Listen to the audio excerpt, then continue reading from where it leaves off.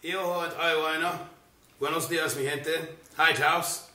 Thank you for tuning in to our series, In the Valle, Prejudice, and Reconciliation in Taos. We're here today with Mr. Larry Torres at his fine, fine, fine home here in the Arroyo Seco. And, uh, well, uh, we're going to jump right into things with Mr. Torres. And Mr. Torres, thank you for joining us today. Thank you for being here. Um, a little bit of background about yourself, just in case anybody out there hasn't met you. Absolutely. My name is Larry Torres. I'm from Arroyo Seco, New Mexico, right here where I'm sitting right here. This is where I used to herd sheep and cows when I was little. But uh, after I gave up the farm life, I started teaching, and I've been teaching for 43 years. I was retired from UNM Taos on uh, last June, so a little over a year.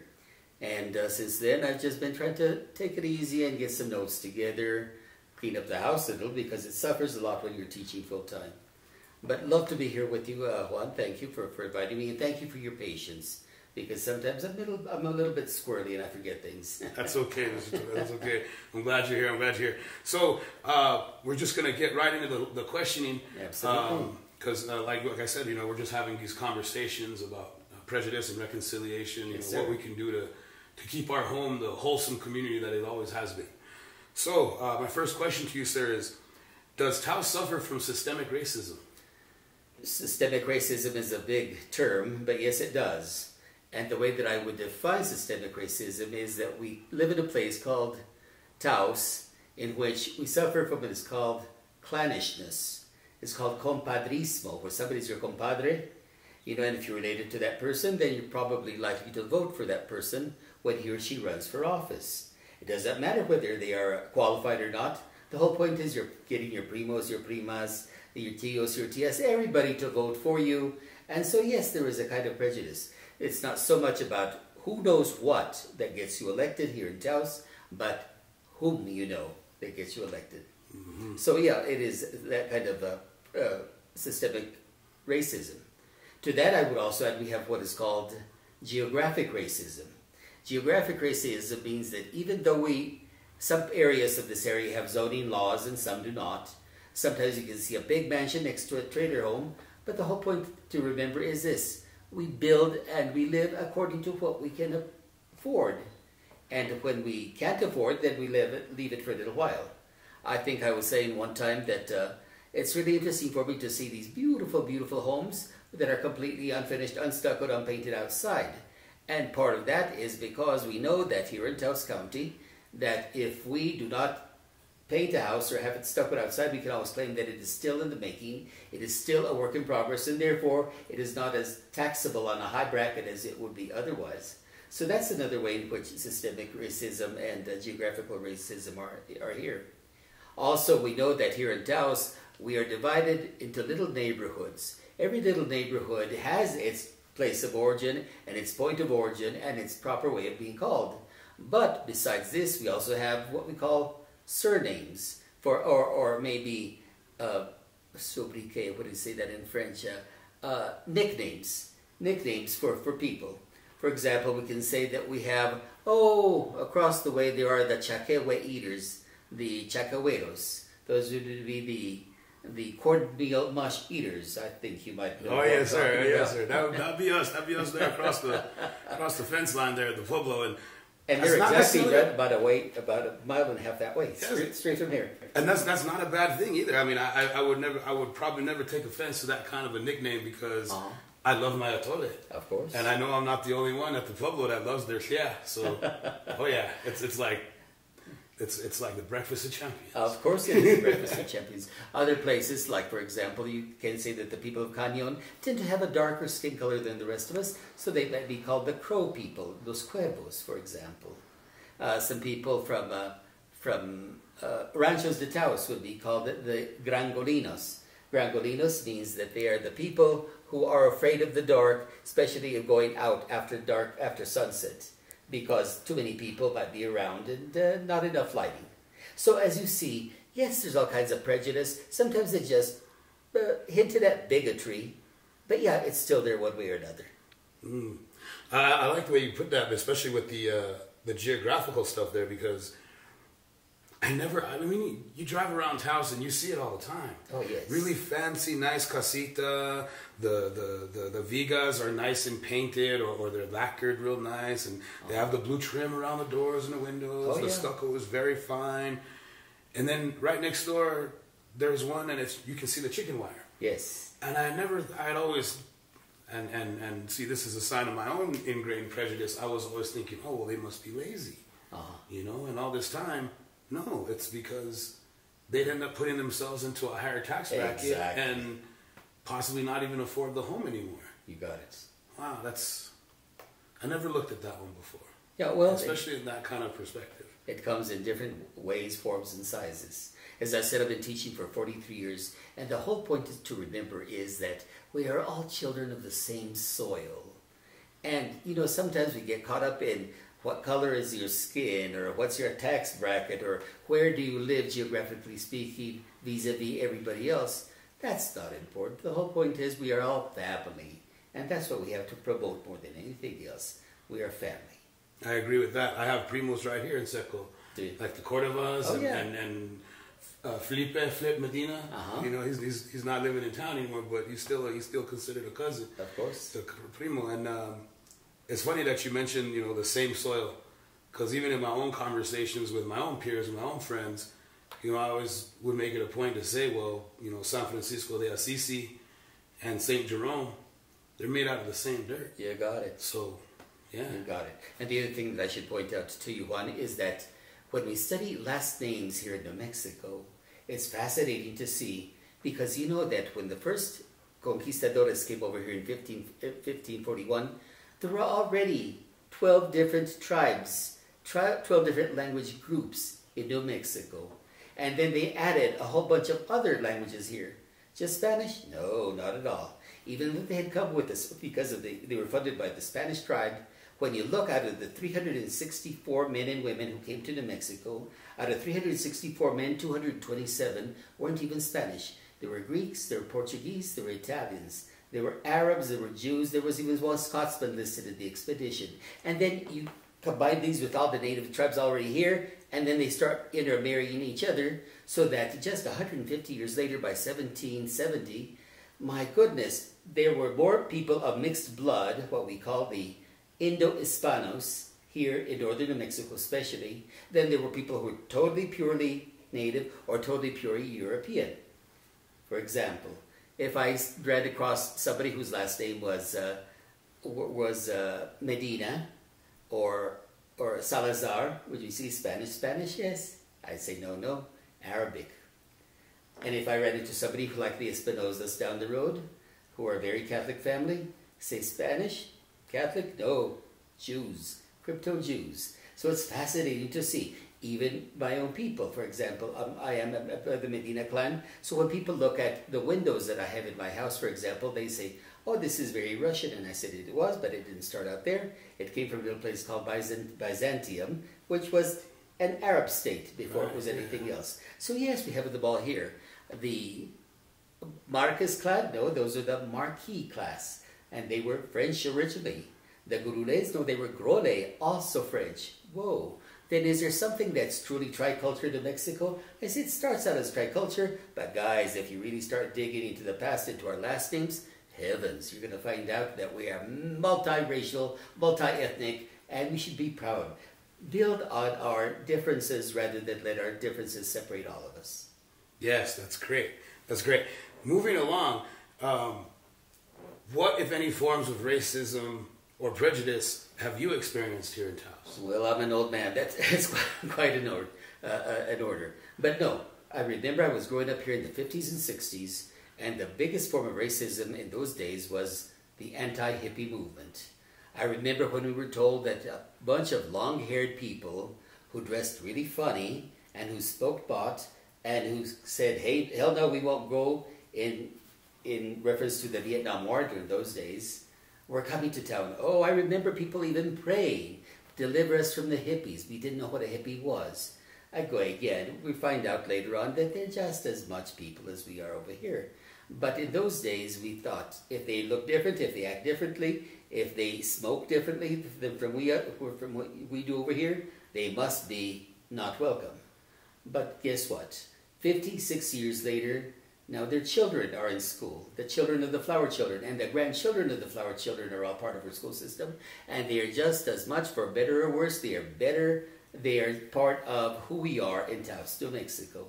So, yes, sometimes those people that you see as your enemy or those people that you see as different from you, if you live long enough, you're going to realize, no, they're just people like the rest of us, and it's okay to accept all of them. And yes, the Vietnam War is over, it went on, and uh, we didn't have to blame anybody because all things pass. The Bible says to everything there's a season and a time for everything under heaven. So all those signs that we had in those days, no, no shirt, no shoes, no service, no, it's okay. It's okay. We're not judging you based on your on your socioeconomic status at all. It's just who you happen to be and who I happen to be. Uh, all right. Strong words there. And the hippie community does add a certain kind of dynamic to Taos. Yes. That is very different from I would imagine other hippies in other parts of the world. I think so. Because it, pro- and it probably has a lot to do with the fact of our complicated history and past. Don't you Right on. And, and would be fascinating, and and I'm kind of anticipating your next question about the BLM movement, ah. because I was when I saw that there was a sit-in, actually a lying, and I can't breathe the movement, just about three weeks ago in Taos. And when you look, and if you scan the people who are in the streets, not just the hippies, the Chicanos, the Anglos, the tourists, old people, young people, everybody who's united together into the I do not, I can't breathe movement. And I say, I love this if only because it reminds us all, guys, get That's together, come together, unite. That's right. Even some of our own travel members were there for that event. So that was awesome. And so, having anticipated that, do you see any reflections of the past in the current state of civil unrest with the Black Lives Matter movement? Oh heavens! So long as whenever you have two cultures or more that come together, you have some kind of conflict from at the beginning. For example, I'm thinking since I'm a history teacher, I remember the time when the Romans ruled the world, but everyone who was not Roman was called a barbarian, or that is a bearded person.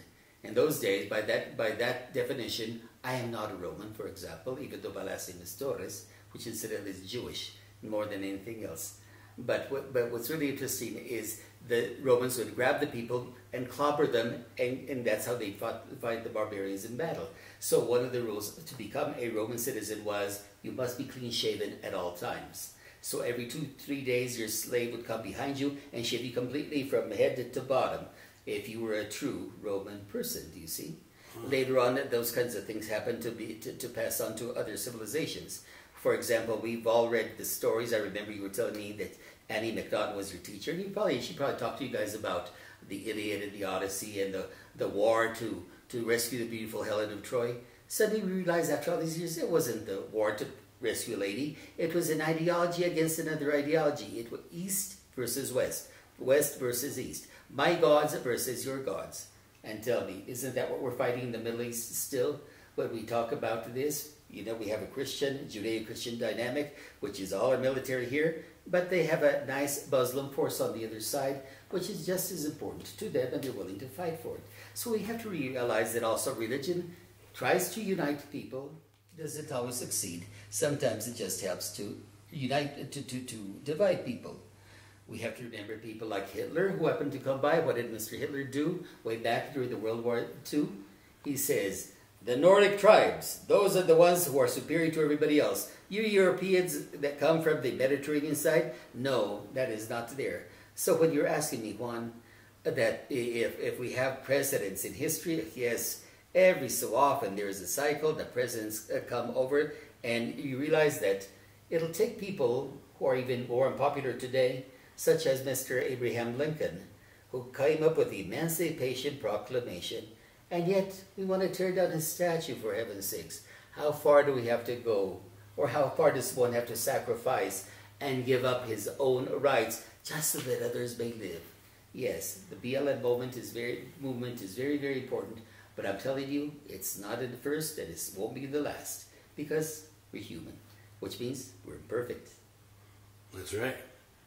Man, you're blowing my mind now, Mr. Torres, because man, oh man, it's the when I when I when I ask of you know reflections of the past, I'm, my mind immediately goes to civil rights movements, Martin Luther King, Malcolm X, those kind of things. But you bring it to a light to where it's a it's it's not it's not such a small little spotlight on one little thing, one little event, one little time in history, but you brought in that scope of that light to show that this has happened so many so many times so in, many in, our so in our times. in our genetic history. Mm-hmm. And, and may I say also from from a personal point of view, I taught Russian language for a quarter of a century in Memphis, Tennessee, where every all my students were black. Fascinating. It put me in contact with a culture that I never would have gotten to know and know well if I hadn't been there for a quarter of a century. That's where I learned that Mr. Martin Luther King was assassinated just down the road from me in Beale Street at the Lorraine Motel. That's where I found out that the people over there, they eat different things. I learned to eat collard greens. I learned to eat hominy grits. The things that I had no idea were here, would have been here in Taos, New Mexico. But I did over there. And, uh, and that's, that's how you start getting over prejudice by breaking bread with one another. Yeah, I was gonna say, like saving, sharing a meal, man. That's the way to do it. Who don't yes. love food, man? All right, so um, in your opinion, how well has President Trump responded to the current situation with the BLM? Well, God bless him. He's trying. I know he's trying, but he's a frightened man. Sometimes I just want to go give him a hug and say, "It's okay. We're all frightened. Let's be frightened together." Because if we're all frightened together, then we will have strength in numbers instead of trying to say, I'm the boss, you're not, I'm going to do it, you're not. And of course, we have to remember that whenever the media enters the picture, you have a third element that enters, and that also causes a little bit of friction uh, to, to be developed. But no, we, can, we say sometimes in Spanish, no puedes repicar la campana y andar en la procesión a la misma vez. That means you can't ring the bell and be in the procession at the same time that means that you can't do things and do a good job. You can't serve two masters because you will serve one better and not the other one. So just serve one master at a time and you should do fine. Wow, that's um, that's a very different opinion from, from what I've heard from other people that we've interviewed so far. Um, most opinions fall for, to either the very one side extreme to the very other. You either love them or you hate them, kind of thing, you know. And uh, for you to offer that kind of pers- perspective, it's it's a uh, it's very humbling well, because I, I know that you're a man of the church, and I not being so religious, very spiritual, but not so religious, would never think to extend the olive branch. I think it's very important, one that we all do. Because in this day and age, everybody wants justice. You did this to my people, therefore I demand justice and retribution of some sort. No, we did those to that. And as I said, that's all part of who we are as humans. We do that to one another. Now I'm saying to, uh, to extend the olive branch is not just asking for justice, but for mercy also. None of us were there in the past when the, those atrocities were committed. Therefore, how can we answer, be answerable to them when we weren't there? Mercy is the second equation of the of the of the, the formula for how do you find peace in the world? Justice, absolutely. Also work for mercy. Yes, yes. I think that's what we're trying to do here. I mean, I, these these conversations is just to bring light to those situations that, that have occurred in our past that kind of leave us scathed and, and, and a little wounded. Yes. And it's time we heal those. So Yes. yes. And, and may, I add, may I add a third part to the equation? This is just besides justice and mercy, education. If you do not teach your past, you're going to keep repeating the same things. My old friend uh, Winston Churchill used to say, People who do not remember their past are condemned to repeat it again. Don't repeat it again, people. It was hard enough the first time. Let's move forward. Be educated. Right, right. So we, we talked about this earlier, and um, you kind of touched on it with the whole thing with the um, uh, people wanting to take down statues of, of Lincoln. Yes. I can understand why certain particular tribes would want to see those kind of monuments taken down, mm-hmm. uh, particularly because of the hanging of the Dakota 38. Oh, yes. But I would think for myself that, you know, maybe it'd be best to just remind people that that did occur. It, it's so obscure. You, you, it's not something they teach in the high school No, textbooks. it really is. So yeah, so, th- so my question is, you know, groups of people across the United States are calling for the removal of statues depicting certain historical figures. Here in New Mexico, uh, figures such as Juan de Oñate, uh, even right there on our own plaza, uh, Padre Martinez, the removal of Kit Carson's name from the park, just a little, bring it a little closer to home. What do you feel is the best route to meet those demands? Again, the whole point is to remember that we are men and women of our times, and we tend to act as men and women of our times. We look back at, for example, the atrocities, and they were, I'm not denying, that, Miss, that Don Oñate, that second governor of New Mexico, did. But he, when, when he cut off the foot of a lot of people, that was awful. But would getting rid of his statue help any? It won't change the past. It, in fact, it may inflame the present much more because if we just get rid of a statue without explaining why you are getting rid of the statue, then we're no better than those people from the past. One day people are going to look back in the year 2000, 2020, 2020, 2020 and they're going to say, Good heavens, those people of Taos, New Mexico, see what they were doing. And we think we're so advanced. Think to the future, guys. Quit looking so much into the past as how your actions lay yesterday and your actions today will affect your actions tomorrow. Father Martinez of Taos, love him dearly, but when I look at him from, an, from, a, from the bishop's point of view, for example, from Jean Baptiste Lamy, the first Archbishop of Mexico's point of view, absolutely I could see why he hated him. In fact, even the last Archbishop of Santa Fe, when that statue was dedicated at Taos Plaza, wrote a note that says he would not be there to bless the statue. And I thought, good heavens, that conflict between Lamy and Martinez occurred over 150 years ago, and we still haven't forgot, forgiven.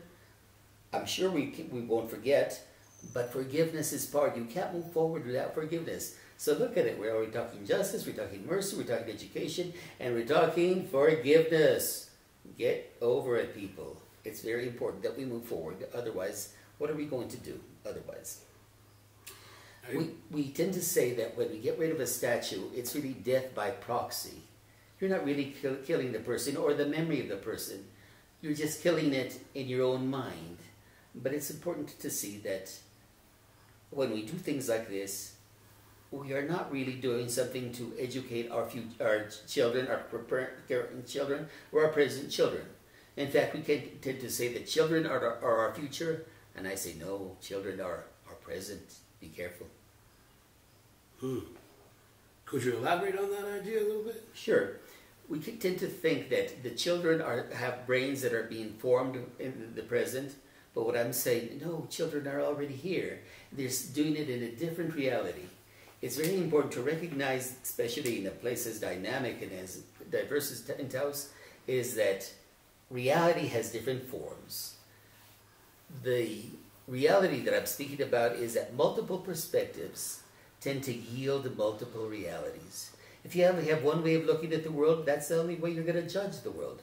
If you have two different realities, such as being bilingual or trilingual or quadrilingual, whatever it happens to be, you're going to have different ways of looking at the world and understanding it. Does that mean that you are asked to give up your own reality? Not at all. It's just to say it may not be my reality, but it is certainly somebody else's reality, and that person is just as important as I consider myself to be on this plot of land because we share the same soil. Love it. Absolutely love it. Okay. And the reason I asked you to, to elaborate on it is because recently I've, um, you know, I, I, I consider myself still a child. Yes, I'm a grown man with children and a wife and, and, and, a, and a home to take care of and look after. But I am still a child of, the, of, of, of humanity and, and the earth and the world and trying to better myself. So I went back to school. Now, I had caught some excuse me, I had caught some flack from a tribal member or two in regards to pursuing a college education as opposed to pursuing my traditions and language further. But I'm glad you brought that up because I too, in a way, felt the same way. Like, no, uh, what I'm going to do is I'm going to bring a little bit of a different perspective to our own reality, our own way of life at Taos Pueblo, Good for you. and Good for you. possibly make life better for the, for our tribe in the long run. So I'm, I'm glad you said that. I, I think um, in my own personal world, in my own personal life, in my own reality, I, I think I needed to hear that. And what I need to add this to it because I see the joy that you have in trying to promote peace and understanding among all the people in Taos, and that's a big dragon that you're trying to fight. But that's also important to realize that what you said, he said, I'm still a child. I'm a man, but I'm still a child. And you will, as long as you're always a child, you'll still keep learning. That's why I taught. Not so much because I wanted to teach, but I wanted to keep learning. It kept me as a child for 43 years, and I loved it more than anything else. The other thing um, I'm going to tell you one the minute you stop learning how to play, you begin to die. Never mm-hmm. stop learning how to play. Play, Wow. Ah. even if it's plays on words or plays of, uh, of making fun of, of things. Sometimes it's easier to smile and to laugh than to cry. Well, I don't know. My kids had me on the floor the other day building Lego houses, and when I tried to get up from the floor, I heard something pop, man. It's an old child. That was fun. Still an old child. But it was fun. Okay, so um, uh, getting back to the to, to our our conversation, um, what solutions would you like to see implemented to heal the ancestral trauma minority groups suffer, not only throughout the country but also here in our own community? What I would say to that question is that sometimes when we raise people to the status of child uh, of hero worship or make institution out of somebody, we forget that they were just as flawed human beings as we are, as imperfect as we are in their own time. And if they had lived in this time, they would have been just as flawed. Or maybe they would have brought enlightenment to us. But the whole point is the human animal, and we are human animals, tend to be in a constant state of flux. From the moment that you're born to the time that you're dead, and even a little beyond, you're going to find out that we're in a state of flux. The reality that we have when we're a child it develops as we as our learning develops a little bit more. And sometimes they may go back and say, okay, I didn't get that right. Maybe I'll go back and recapture that moment and teach it to my children and my great grandchildren uh, thereafter. But that's what I would say. Just forget about making people into institutions and into, into children or into into uh, into institutions or, or, or hero worship people because we are imperfect. Are we apologizing for it? No. As I said, just be glad that you're human and that you're here and enjoy the beautiful freshness of the air today, the colors outside, the soft breeze that's wafting through the house right now, the smells coming from the kitchen. Live in the moment is what I'm saying. Don't live for a moment that may never come because it may not be your time. What I said to you one time, I think one, was that unless the genius of the man, that is the genius of the person, meets the genius of the moment, everything goes awry. Because if the person is ready but the moment is not ready, then you'll come off as a madman. But if the moment is ready but there's no one to take up the gauntlet and run with it, you're going to find out, aye, we are lost in a world. So ask for that, pray for that, seek that in our lives. The genius of the man and the genius of the moment. But I'm telling you, one, you're an important part of history, just important as those people who came before you, because as long, as long as you remember that you are a part of history right now, you can change it and help those change it also. Thank you, sir. Thank you. Thank you. Um, now, I remember when you told me that, and I had been dwelling on it for some time, for the last few days, and, and, and it kept coming back up in my mind. The genius of the man has to meet the genius of the time. And I remember those years in high school. You remember all those poetry slams and all Oh, the yes, words flying, all the work I did. it. And that was my that was my genius at that moment. Yes. But you're right, it wasn't the right time. And it frustrated me that there I was rattling the cage and I couldn't get hardly anybody to, to, to back it up Uh-huh. and, and to, to follow suit or, or, or, or to join the bandwagon. Yes.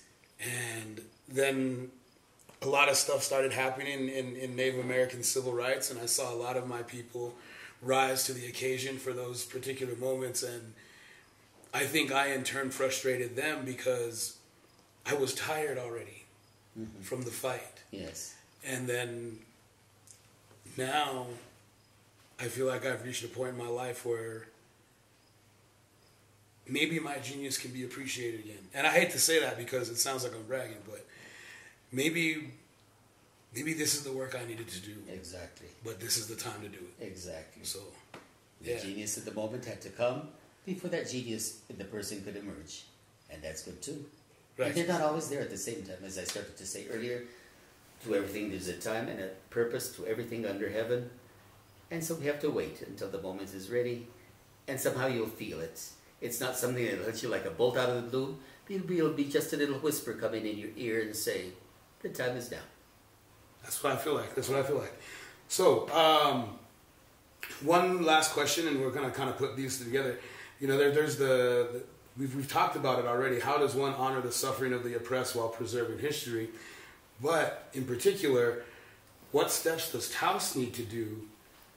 What steps does Taos need to take in order to protect its most unique quality, its, its cultural diversity? We have to learn to respect one another. Ooh, is that the fifth point now? Let me see. We already had justice, we had mercy, we had education. What was the next one? And then there's. Forgiveness, I'm sorry? forgiveness. Forgiveness, and now we say respect. Look at all the elements that went up just to try to answer that one question uh, that you put to me. And I think, wow, look at that. Respect one another and temper it with just temper your justice with mercy.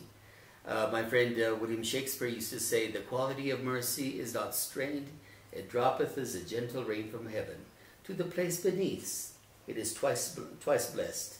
It blesses him that gives and him that takes, him that takes and him that gives." And so that's what we have to teach to everybody else.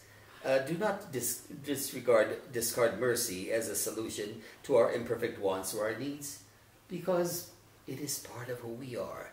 Appreciate, enjoy, love. Oh, there's the one that nobody ever thinks about either. Love one another, and I'm not just saying physical love. I'm saying spiritual love. As you said, you may be religious, but I'm spiritual. And no, they're not opposite. Uh, they're not opposite uh, points of view. They are just different, two different solutions to where we happen to be, stand on the spectrum of human life, of humanity right now. So, temper your temper justice with mercy mm-hmm. through forgiveness Yes, sir. and respect, And respect. And so that way you can love and- your fellow man. You got it. So it's, so it's much more than just tolerating. It's loving. Love your enemy, as as the, the, the holy masters used to say at one time. Just love your enemy. Because if you just love your friends and, and, and hate your enemies, then what, what good are you doing to anybody? Heck, even those who have no faith or religion can do that. No, love even, or maybe especially, those who hurt you the most. It's not an easy thing to, to do. And uh, not everybody can do it, and maybe not even in one lifetime. But if you at least have that idea in your head, then you can teach that to the next generation coming up to take over the present. Wow. That one, that one strikes a chord with me because, well, because of some of the things that I've been going through in my own personal life. Okay? You know, um, um, we won't get into it now, folks. We'll save the drama. but um, uh, justice, tempered by mercy through forgiveness and respect, so that I could love my enemy. You got it. It's and uh, teach it to everybody else education. Yes. it's it really hits hard, man, because I got a lot of forgiving to do. Most important thing, one, is to forgive yourself first and to love yourself first. Because if I cannot forgive myself first and love myself first, I'm not ready to hand it out to everybody else just because I have a voice or a, an outlet. No. It starts as, as charity, it starts at home. All right, I like that. Do you have any other words you'd like to share with the community in, in regards to any of this or all of this? And, or Not really, but I just want to say that I don't always accept interviews. So when you asked me, I thought this is somebody who has something very important to bring to the foreground. And if I can help boost it a little bit along the way and help him along the way, it's very, very important.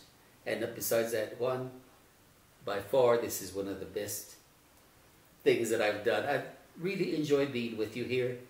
And when when I saw you walking around my my house, saying, "Where did I? What did I come to?" Oh my goodness, it's a little bit weird.